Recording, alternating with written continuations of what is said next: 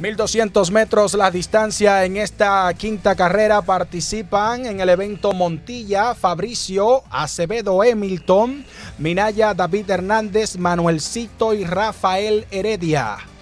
Ahí están todos cuadrados. En cualquier momento comienza la acción, clásico día del locutor.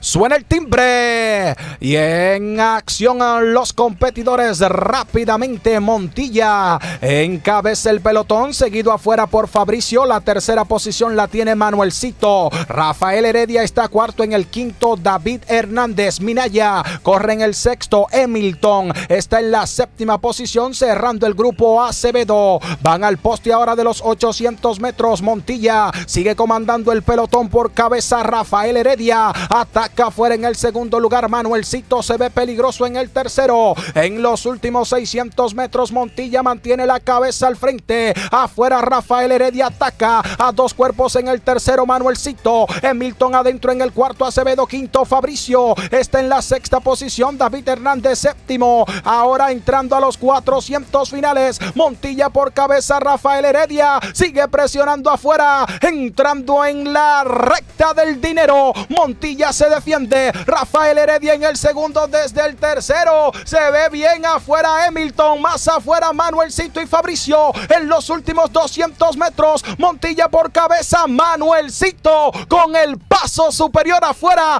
Pasa al frente y es el ganador del clásico Día del Locutor. Segundo Montilla. Tercero Fabricio. Cuarto Rafael Heredia. Quinto Minaya. Hamilton sexto. Cerrando el grupo. Acevedo.